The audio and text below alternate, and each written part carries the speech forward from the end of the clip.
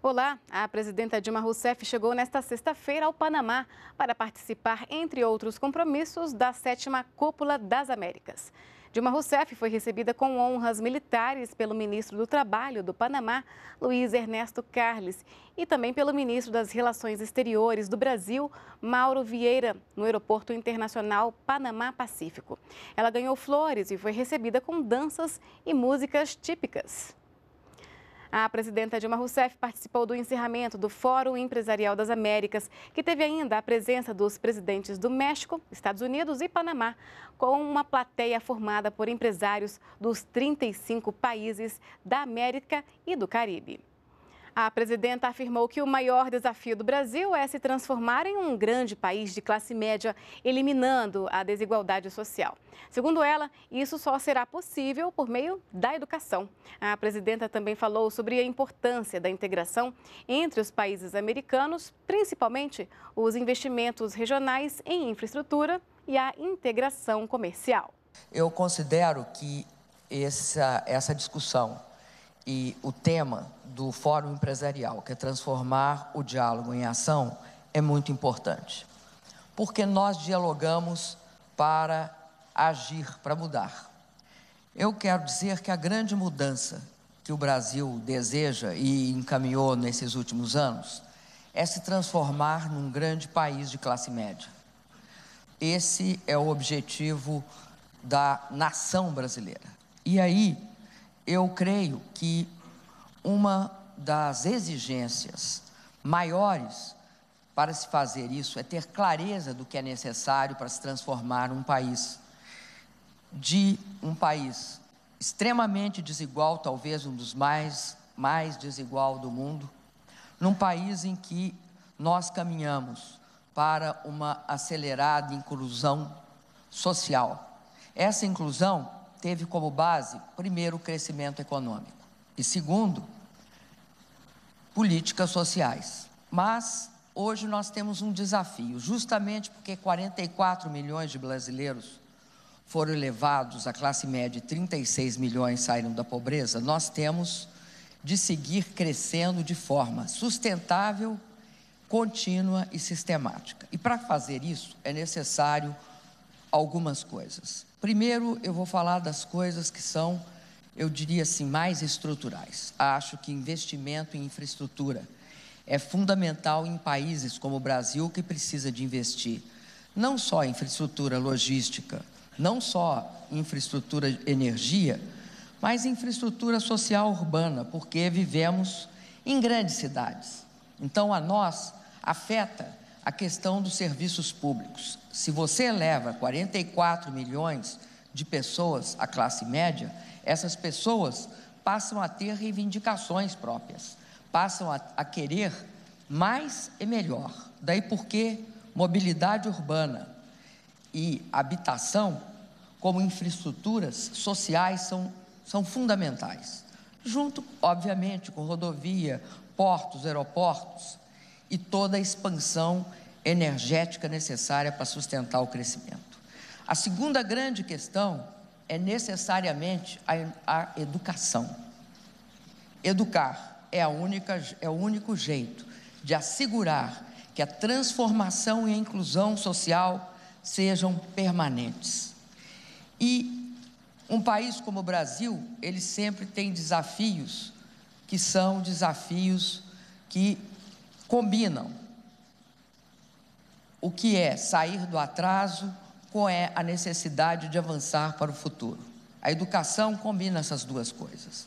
Primeiro, incluir os milhões de brasileiros que não tiveram acesso, da creche ao pós-graduação, passando por ensino técnico e universitário.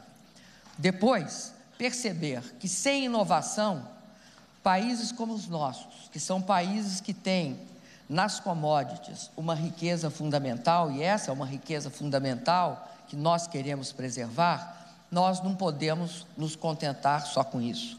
Precisamos dar um passo além. E esse passo além só se dá se nós apostarmos na educação, na formação científica e tecnológica e buscarmos, inclusive, é acompanhar é, as, o que há de melhor no mundo, como é o caso da educação terciária nos Estados Unidos. Nós precisamos disso para dar o salto para a economia do conhecimento. Então, a educação, ela junta dois caminhos: a inclusão social, a necessidade de garantir que essas pessoas que melhoraram de renda não voltem atrás, não, não percam o que conquistaram. E depois é o fato de que nós só teremos um país com 200 milhões de, de habitantes, como o Brasil, só terá sustentabilidade se tiver uma agricultura, uma indústria e todo um setor serviços baseado em inovação, tecnologia, inovação e inovação. E isso é dado pela educação. Então, o segundo ponto, eu já entrei nele, que é a questão da educação. Aliás, da inovação. Educação, inovação. Um terceiro ponto fundamental eu gostaria de falar é a questão da integração regional. Acho que a integração regional das nossas economias funciona como um fator que expande as nossas fronteiras, expande as nossas oportunidades, expande as nossas economias. Daí porque o Brasil se dedicou nos últimos anos a investir fortemente na integração de infraestrutura. Eu elenquei alguns dos investimentos que eu considero muito importantes que nós fizemos em parceria com os diferentes governos e empresários do aqui do continente latino-americano. Me refiro no Paraguai à linha de transmissão que leva energia de Itaipu, que é uma das maiores hidrelétricas aqui do continente, se não a maior, a Assunção, garantindo ao, ao Paraguai as condições para o crescimento industrial. No Uruguai, a integração energética, os parques eólicos, as linhas de transmissão, a conversora. Na, na Argentina, a construção e o financiamento do gasoduto TGN Sul, o gasoduto Sul e o gasoduto Norte a fase 3 do Gamesa, a estrutura de água e esgoto em toda a Buenos Aires, a grande Buenos Aires. Em Cuba, o porto de Mariel. Na Guatemala, o trecho 1 da rodovia centro-americana. Na Nicarágua, a hidrelétrica de Tumarim. No México, o polo petroquímico da cidade do México. Acho que essa integração de infraestrutura que agora nós temos de olhar com mais ênfase é fundamental também para a nossa região. Essa integração de infraestrutura tem de levar também à busca de uma maior expansão comercial, de uma maior abertura comercial e também de uma abertura grande aos investimentos interregionais. Eu estava falando há pouco com o presidente Penha Neto e parabenizando pelo fato que o México é um dos grandes investidores no Brasil e para nós são muito bem-vindos. Uma outra questão que eu considero fundamental é justamente a abertura comercial e a desburocratização.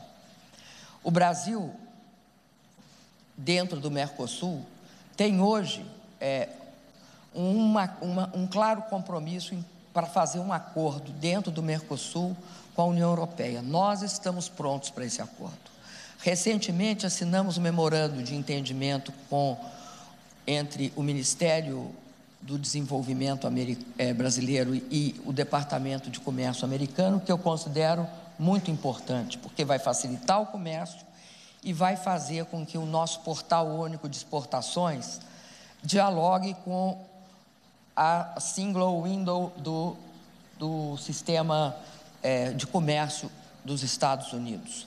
E cumprimentei também o presidente Penha Neto pelo nosso acordo automotivo. Considero que todas essas iniciativas, elas contribuem para que nós tenhamos um horizonte de crescimento maior. Nós estamos no Brasil fazendo um grande esforço de ajuste fiscal, porque adotamos medidas anticíclicas neste último, nesses últimos anos para evitar que houvesse uma queda muito forte tanto no emprego como na renda.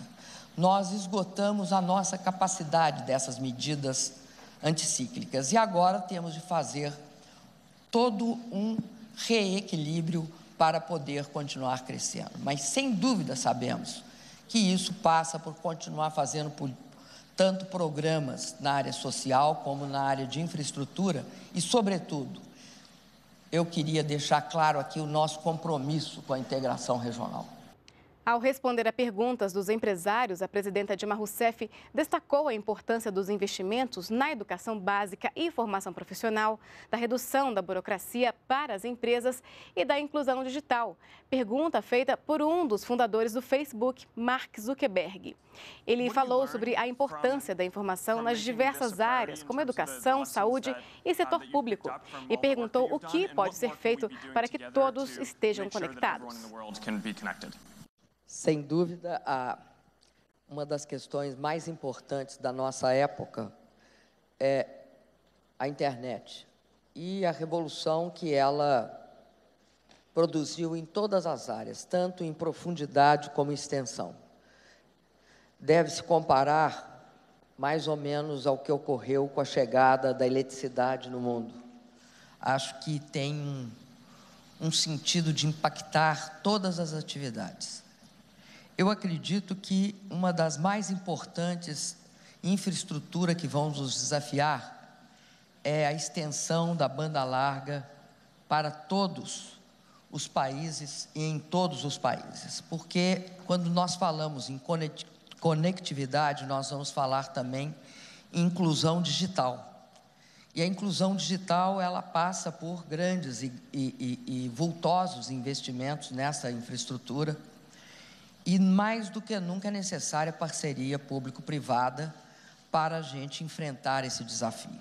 Aliás, eu acredito que muitas vezes a gente só pensa que a parceria público-privada ela é um sucesso na área de infraestrutura. Eu quero aqui relatar uma das experiências mais importantes que ocorreram no Brasil, que é o desafio brasileiro não só de levar a educação educação de qualidade universitária, mas também construir as condições para que o ensino técnico profissionalizante atingisse o maior número de brasileiros e tornasse possível uma formação profissional que, ao amadurecer, transformaria as condições de eficiência e produtividade da economia do país. E aí eu me refiro a uma parceria público-privada feita no maior programa técnico que o Brasil fez, um programa chamado Pronatec. Nós conseguimos, com essa parceria, que envolveu as confederações nacional, nacional da indústria, da agricultura, de serviços, dos transportes, confederações privadas, com o Ministério da Educação e toda a estrutura de escolas técnicas profissionalizantes do país. Com isso, nós conseguimos formar 8 milhões de pessoas. E agora vamos para a segunda etapa para formar mais 8 milhões de pessoas. Por que, que eu falo isso? Porque eu acredito que o presidente Obama colocou bem uma questão. Eu acho que o modelo de parceria é o reconhecimento que tem atividades que o Estado sozinho não faz bem e tem outras atividades que é necessária a presença do Estado para regular as condições em que os serviços são oferecidos. Obviamente, sempre atualizando os marcos regulatórios. Mas, no caso específico da educação, eu acredito que a internet pode cumprir o duplo papel de inclusão, ou seja, de acesso qualitativo e também de melhoria qualitativa na qualidade do ensino melhorando e garantindo uma maior eficiência no acesso àquilo que serão é, as melhores práticas educacionais, as melhores conteúdos educacionais, os melhores softwares educacionais, para que a gente tenha condições, principalmente em países com, com populações muito grandes, como é o caso do Brasil, que tem 200 milhões de habitantes, nós tenhamos essa combinação do ensino presencial com o ensino via internet e utilizando o que há de melhor software possível.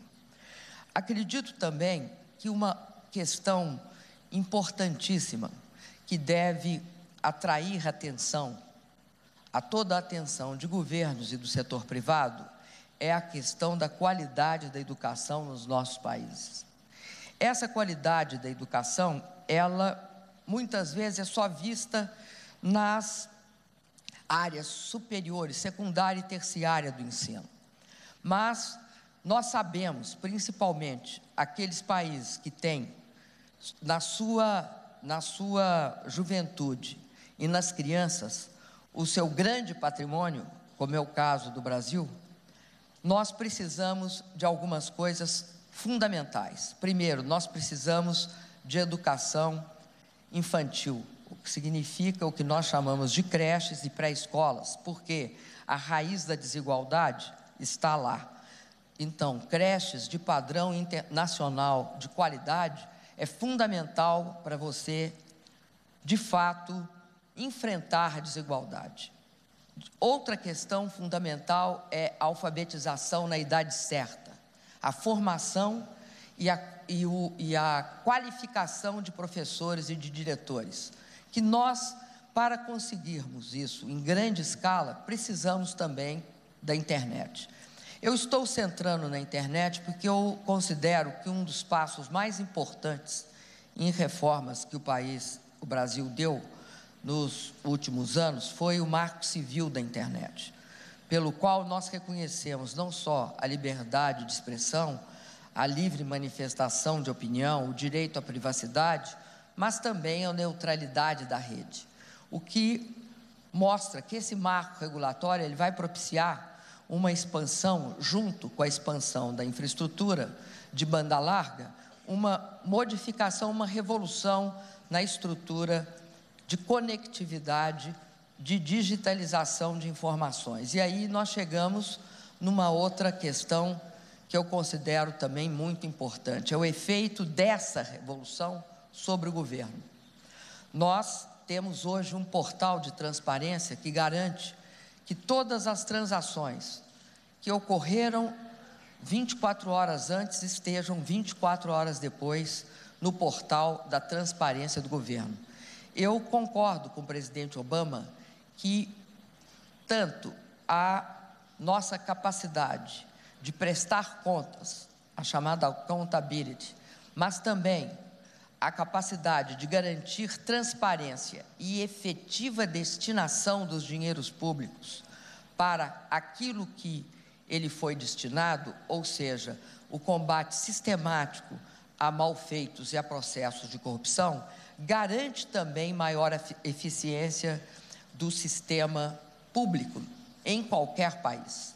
Aliás, outro grande desafio que eu acho que temos de enfrentar é o desafio da reforma do Estado, de garantir que o Estado se desburocratize, que o Estado não trate o cidadão como vários, mas só como um único cidadão. E isso significa necessariamente também recurso à internet.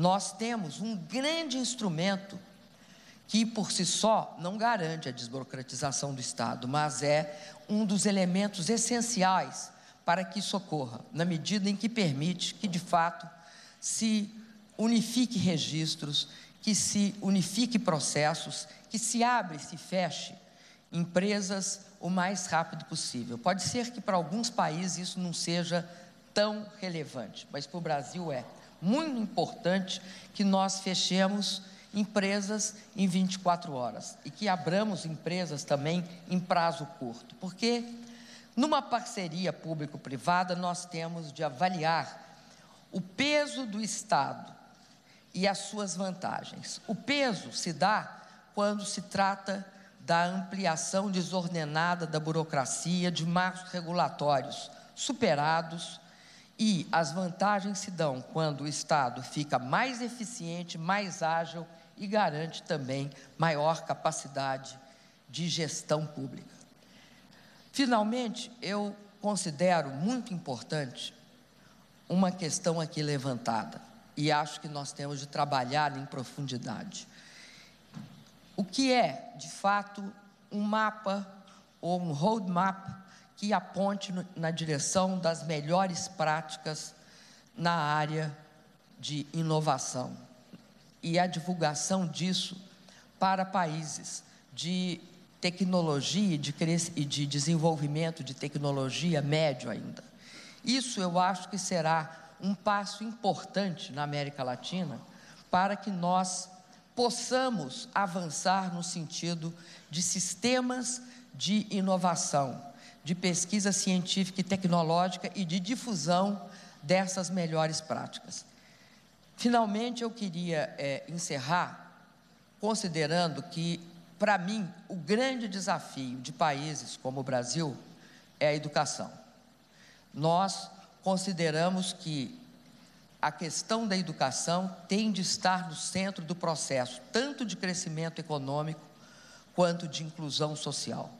Nós precisamos, de fato, adentrar por atividades que agreguem valor, que impliquem em inovação e que não se, se restringam pura e simplesmente às práticas tradicionais de especialização do universo de trabalho no mundo em que destina aos países da América Latina um papel de exportador de commodities. Eu acho que a América Latina e todos nós temos de almejar sermos produtores de valor agregado, de utilizadores do conhecimento como forma de garantir que os nossos povos, de fato, tenham acesso a um padrão de vida de classe média que, que significa para mim um padrão de vida de classe média? Eu acho que para todos nós significa, de fato, melhores salários, significa um compromisso muito grande com o empreendedorismo, porque o empreendedorismo está na raiz, eu acredito, da agregação de valor em nosso país, a capacidade de estimular e garantir maior, maior empreendedorismo, porque é, do meu ponto de vista, pequena e a média empresa, ela constitui algo tão fundamental como é os setores trabalhadores e empresariais. A pequena, a microempresa e o empreendedor, ele tem de ter um papel central. E eu acho que também, neste caso, a tecnologia pode nos ajudar. A internet faz a diferença.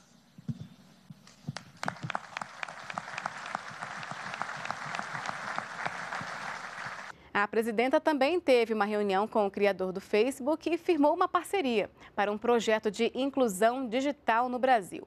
No encontro, eles definiram que até junho vai ser feita uma análise conjunta para ver como o projeto vai ser colocado em prática, principalmente em regiões do país que têm pouco acesso à internet, como Norte e Nordeste. De acordo com dados publicados pelo Facebook, o Brasil é o segundo país com mais usuários que frequentam diariamente a rede social. Ainda foram tratados temas como o Marco Civil da Internet, que estabelece princípios, garantias, direitos e deveres dos usuários da internet no Brasil. Para Dilma Rousseff, o marco é um instrumento efetivo para a garantia da liberdade de expressão, do respeito à privacidade de pessoas, empresas e também aos direitos humanos na internet. Logo após o encontro, a presidenta conversou com os jornalistas sobre a parceria firmada com o Facebook. Nós estamos aqui para anunciar uma parceria entre Facebook e o governo brasileiro, no sentido de assegurar que as tecnologias de, que garantem acesso à internet, aos serviços de internet, à educação, à saúde, enfim, a todos os produtos que hoje a internet pode tornar disponível na rede, possam ser acessados no Brasil. Vocês sabem que nós temos áreas que são áreas de difícil acesso. Né? A Amazônia toda é uma, né? Tem áreas também no centro-oeste que esses problemas existem, existem áreas no nordeste, enfim, todas as regiões do Brasil. Então é muito importante essa parceria que nós hoje estamos encaminhando e que significa basicamente garantir o acesso a serviços os mais variados via internet. O Facebook tem uma parceria em, Heli, em, em Heliópolis esse é um exemplo de um modelo que nós pretendemos utilizar. Nós, a partir de agora, vamos fazer estudos em comum, até que quando chegar em junho nós possamos desenhar um projeto comum, cujo objetivo fundamental é a inclusão digital. Mas não é inclusão digital pela inclusão digital. É inclusão digital porque ela pode garantir acesso à educação, acesso à saúde, à cultura, à tecnologia, enfim, olhar como um instrumento. E consideramos que o Facebook é um dos grandes produtos que geraram essa revolução que foi essa revolução que é similar né, ao que aconteceu com a energia elétrica quando o mundo foi iluminado. Agora, o mundo também é iluminado, mas só que ele é iluminado, ele é iluminado, vocês veem que cai às vezes. O mundo é iluminado, eu acho que agora, pelo, pelo acesso ao conhecimento, pelo acesso a serviços. Um dos mais importantes é acesso de serviços de saúde, acesso de serviços de educação. Eu vou só tratar desses dois. A presidenta Dilma Rousseff também teve um encontro privado com o presidente do México, Henrique Penha Nieto. Eles conversaram sobre temas nas áreas de educação, inovação, integração regional e comércio. Em março deste ano, os dois governos renovaram até 2019 o acordo que rege o comércio de veículos entre Brasil e México. Os países acertaram manter o regime de cotas sem pagamento de imposto de importação. Dilma Rousseff também se reuniu nesta sexta-feira com o presidente da Colômbia, Juan Manuel Santos. Os dois presidentes conversaram sobre o estreitamento das relações diplomáticas e comerciais entre Brasil e Colômbia. Em 2014, o Brasil exportou para a Colômbia 2 bilhões e 400 milhões de dólares em produtos e importou mais de 1 bilhão de dólares. Brasil e Colômbia têm projetos em áreas científicas consideradas estratégicas para as duas nações, como aproveitamento sustentável da biodiversidade da Amazônia, energia renovável e cooperação geoespacial. E na noite dessa sexta-feira, a presidenta Dilma Rousseff foi à abertura da sétima Cúpula das Américas. O tema é Prosperidade e Equidade, o desafio da cooperação nas Américas. Entre os assuntos tratados estão educação, saúde, energia, meio ambiente, migração, segurança, participação cidadã, governabilidade democrática e cooperação hemisférica solidária. Pela primeira vez, a cúpula reúne representantes dos 35 países da América e Caribe. Depois de 54 anos do rompimento das relações diplomáticas entre Estados Unidos e Cuba, os presidentes dos dois países estão em um mesmo espaço de debates. Após a abertura, o presidente do Panamá, Juan Carlos Varela, ofereceu um jantar aos chefes de Estado. E nós podemos voltar a qualquer momento com outras informações. Continue com a gente, NBR, a TV do Governo Federal.